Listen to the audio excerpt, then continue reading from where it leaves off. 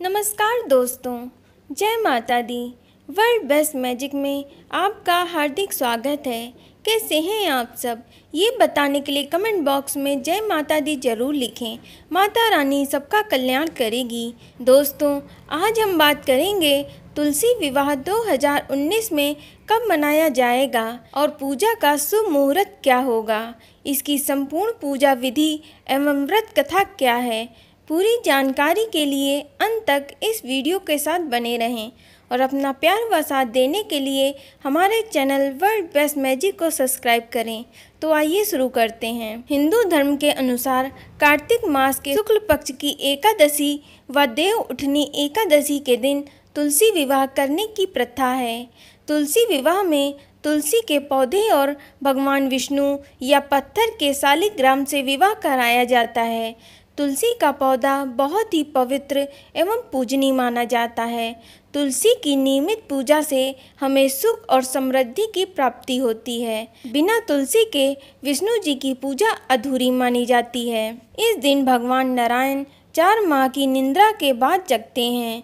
दोस्तों, जिस घर में बेटी नहीं है, वे दंपति तुलसी विवाह करके कन्यादान का पुण्य प्राप्त कर सकते हैं। कुछ लोग तुलसी विवाह एकादशी के दिन करते हैं, वहीं कुछ लोग तुलसी विवाह का पर्व द्वादशी तिथि को मनाते हैं। जो लोग एकादशी तिथि को तुलसी विवाह मनाते हैं, उनके लिए यह पर्व 8 नवंबर 2019 दिन शुक्रवार को मनाया जाएगा और एकादशी तिथि का प्रारंभ 7 नवंबर 2019 को सुबह नौ बजकर चौवन मिनट से लेकर एकादशी तिथि का समापन 8 नवंबर 2019 को दोपहर बारह बज के चौबीस मिनट तक रहेगी। और जो लोग द्वादशी तिथि को तुलसी विवाह करते हैं, उनके लिए तुलसी विवाह का पर्व 9 नवंबर 2019 दिन शनिवार को मनाया जाएगा और द्वादशी तिथि का प्रारंभ 8 नवंबर 2019 को दोपहर बारह बज के चौबीस मिनट से लेकर द्वादशी तिथि का समापन 9 नवंबर 2019 को दोपहर दो बजकर उनतालीस मिनट तक होगा। दोस्तों, तुलसी विवाह की विधि अत्यंत सरल है। तुलसी विवाह के दिन हो सके तो व्रत रखें। घर में तुलसी के साथ भगवान विष्णु या शालिग्राम को स्थापित करें। तुलसी जी व विष्णु जी की मूर्ति को पीले वस्त्र से सजाएँ, क्योंकि पीला रंग विष्णु जी को अत्यंत प्रिय है। तुलसी विवाह में तुलसी के पौधे को साफ़ सुथरा करके सजाएँ, उनके पास सुंदर सी रंगोली बनाएँ, उनके चारों तरफ़ गन्ने का मंडप बनाएँ, तुलसी जी के पौधे को लहंगा चुनरी उड़ाएँ और कलश स्थापना करें और पूरा सोलह श्रृंगार की वस्तुएँ तुलसी जी को चढ़ाएँ। फिर तुलसी जी की चुनरी का भगवान विष्णु जी के पीले पटके से गठबंधन करें उसमें अक्षत सुपारी कुछ पैसे के साथ गठबंधन करें फिर मंत्रों के साथ उन्हें स्नान कराएँ। पूजा करें, भोग लगाएँ, भगवान विष्णु का मंत्र, ओम नमो भगवते वासुदेवाय नमः, और माता तुलसी जी का मंत्र, ओम तुलसाय नमः के साथ विधवत पूजा अर्चना करें। खासकर भगवान विष्णु जी को आंवले का भोग ज़रूर लगाएँ। एकादशी के दिन ऐसी मान्यता है कि जितने आंवले भगवान विष्णु को चढ़ाते हैं, उतने वर्ष स्वर्ग में जगह निश्चित हो जाती है। इसलिए ग्यारह आंवले का भोग अवश्य ही लगाएँ, और पंचामृत का भी भोग ज़रूर लगाएँ।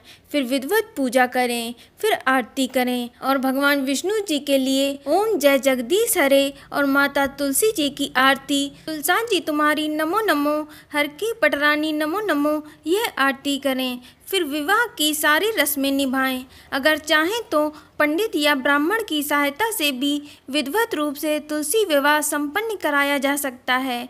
फिर द्वादशी के दिन पुनः तुलसी जी और विष्णु जी की पूजा करें और प्रसाद ग्रहण करके व्रत का पारण करना चाहिए और तुलसी के पौधे को मंदिर या किसी ब्राह्मण को दान दे दें। इससे आपको कन्यादान के बराबर पुण्य फल मिलता है। इस दिन गन्ना, आंवला और बेर का फल खाने से जातक के सभी कष्ट दूर हो जाते हैं। दोस्तों, तुलसी विवाह की कथा इस प्रकार है।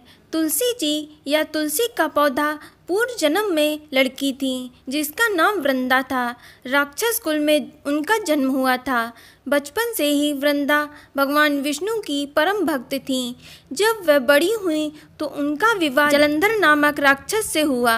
वह बड़ा ही वीर और पराक्रमी था। उसकी वीरता का रहस्य था, उसकी पत्नी वृंदा का पतिव्रता धर्म, उसी के प्रभाव से वह सर्वविजयी था। एक बार देवताओं और जलंधर के बीच युद्ध हुआ। जब जलंधर युद्ध के लिए जा रहे थे, तब वृंदा ने कहा, जब तक आप युद्ध में रहेंगे, तब तक मैं आपकी जीत के लिए पूजा और अनुष्ठान करूँगी। उनके इस संकल्प के प्रभाव से जलंधर को युद्ध में हराना नामुमकिन था। तब सारे देवतागण भगवान विष्णु जी के पास गए तथा रक्षा की गुहार लगाई। उनकी प्रार्थना सुनकर भगवान विष्णु ने वृंदा का पतिव्रता धर्म भंग करने का निश्चय किया। भगवान विष्णु ने उसके पति जलंधर का ही रूप रखा और वृंदा के पास गए। जैसे ही वृंदा ने जलंधर को देखा तो पूजा से उठ गई और जलंधर के चरणों को स्पर्श किया। उधर उसका पति जलंधर, जो देवताओं से युद्ध कर रहा था, वृंदा का सत्वित्व भंग होते ही मारा गया। जब वृंदा को इस बात का पता लगा तो वह क्रोधित होकर उन्होंने भगवान विष्णु को श्राप दे दिया। और कहा कि आप पत्थर के हो जाओ भगवान उसी समय पत्थर के हो गए। तब सभी देवता हाहाकार करने लगे, माता लक्ष्मी रोने लगी और प्रार्थना करने लगी। तब वृंदा जी ने अपना श्राप वापस ले लिया और वृंदा अपने पति के साथ सती हो गई। उनकी राख से वहीं पे एक पौधा निकला। तब विष्णु जी बोले, इस पौधे का नाम तुलसी है और मेरा एक रूप इस पत्थर के रूप में रहेगा, जिसे सालिग्राम के नाम से तुलसी के साथ ही पूजा जाएगा। और मैं बिना तुलसी के भोग स्वीकार नहीं करूँगा। तभी से तुलसी जी की पूजा सभी लोग करने लगे। जो मनुष्य तुलसी के साथ मेरा विवाह करेगा, वह परम धाम को प्राप्त होगा। तो दोस्तों, ये जानकारी आपको कैसी लगी? हमें कमेंट करके अवश्य बताएँ और इस वीडियो को एक लाइक ज़रूर दें। साथ ही साथ इस वीडियो को फेसबुक और व्हाट्सएप पे अपने दोस्तों और रिश्तेदारों के साथ अवश्य शेयर करें और हमारे YouTube channel world best magic से जुड़ने के लिए रेड कलर के सब्सक्राइब बटन को अवश्य क्लिक करें और साथ ही साथ घंटी का बटन दबा दें ताकि नए वीडियो का नोटिफिकेशन आपको मिलता रहे। फिर मुलाकात होगी किसी नई जानकारी के साथ। धन्यवाद।